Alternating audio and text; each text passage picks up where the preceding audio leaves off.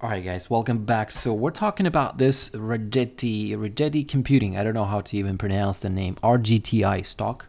And um, I want to go over the levels for this stock and what I'm watching from here for this name. For the first time we're covering this name, we were definitely uh, watching it from here, from like 7, 8 to all the way 13, and then it had a pullback and then it had a breakout here at yesterday with a pretty decent volume and volume is staying high.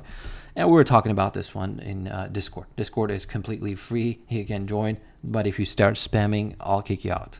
But yeah take it easy over there. But we were talking about this one breakout but as a company uh, well this stock I mean, we like to call uh, things by their name. Uh, it's a penny stock that came uh, I mean, it was penny stock throughout this time uh, up until they did this offering, and they offered at a very very cheap level.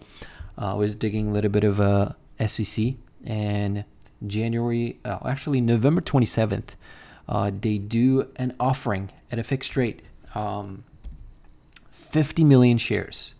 Uh, actually, yeah, 50 million shares at two dollars.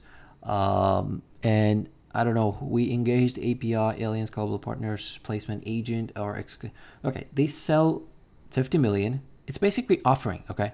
So, and those, as soon as those things were offered and the company announced it on November 27th, uh, coincidence, stock gaps and it starts basically from there melting higher and higher and higher and uh, today it hit as high as $19 volume again very high volume today uh, on a friday 27th 300 million traded. But to me it is no more than yes we know quantum computing in general is a theme in general in the market. There are many other names that i'm watching such as um, what are those names that i was watching IonQ uh, which is still holding up but rgti is another name well let's just stick to with this one there are like four or five names that i was watching uh, as a quantum, but the main one is Google. It all started with a Google.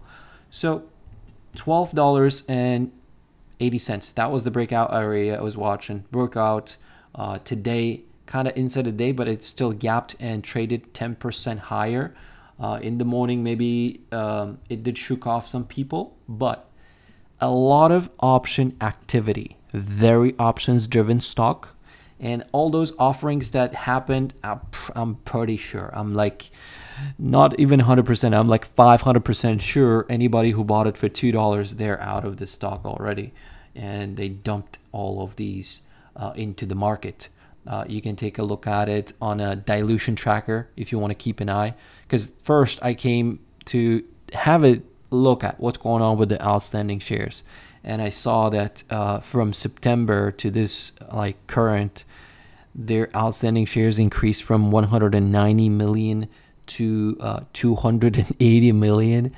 And I'm like, okay, so let's take a look. What's going on? And then I, I, I came up with this one where, uh, yeah, they did an offering proposed. And also, if you have an, uh, uh keep an eye on the insider activity, well, they have been dumping as well. They have been pretty much selling every other day uh, even today, uh, 3.8 million. Uh, the four former officer, former officer, former this guy has been selling at 9, 11, 15. Uh, and also, well, what are the levels to watch? Well, very first thing is if you're trading options, you gotta be careful. This is not something to uh, to mess with, especially with weeklies, because very high option activity, 400,000 almost calls traded, 211,000 puts traded. And when I went through, filtered through the contracts, look at these contract expirations. uh, December 27th or January 3rd, which means ultra short dated, very short dated, which means very speculative, okay? And as soon as these options expire, I mean, you have to keep an eye following day what people are doing because people were to, uh, basically flipping this name uh, throughout this day today uh, on a dailies okay? On a freaking dailies. So it is hot money. We know uh, the theme is quantum computing. How long it's going to stay i don't know. But shorts getting uh, have been uh, getting squeezed on this one. We can take a look at that particular data as well. But the short float overall it was uh, older one but 16 17 percent of the float does this company worth 4 billion? No absolutely not. But we'll take a look at the short activity.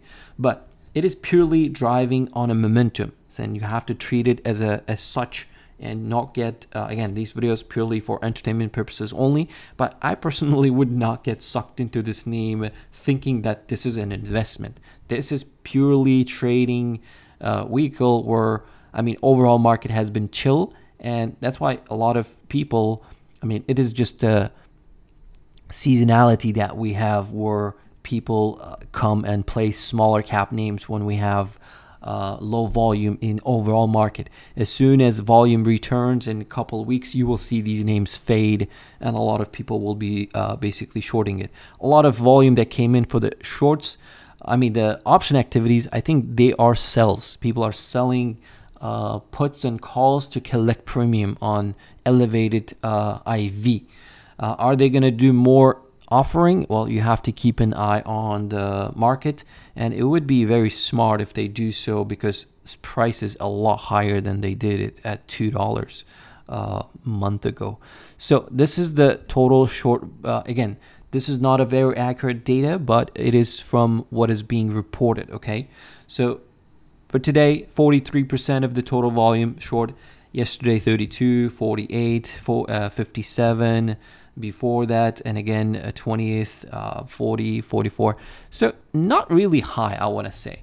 So which means uh, it is being driven mainly mainly by option activity and uh, flipping day traders okay? So what are the support levels? Well when it comes to stocks when they run away i don't use anything crazy i just stick to the five day and 20 day moving average so five day at the moment uh, $12 and uh, 84 cents. So if it does pull back, this is the support area because this was the breakout area on a 10 minute chart. I think I was watching hourly chart. So that's where I would see some sort of a, um, support. But if it doesn't hold, next level would be $7.66. That's the 20 day moving average uh, for the stock as a next level of support. Uh, and breakout area. Well, psychological level for this name would be now $20. Can it push higher? Um, possible. Uh, closing price was 17 but I would treat it as a purely just uh, trading name and uh, yeah it is it is it can end up being um, very soon actually. It's not going to take too long. As soon as overall market uh, volume returns uh, it, will, it will come right back down to uh, around like tens maybe sevens maybe even six and then come towards fours in like two months or three months again.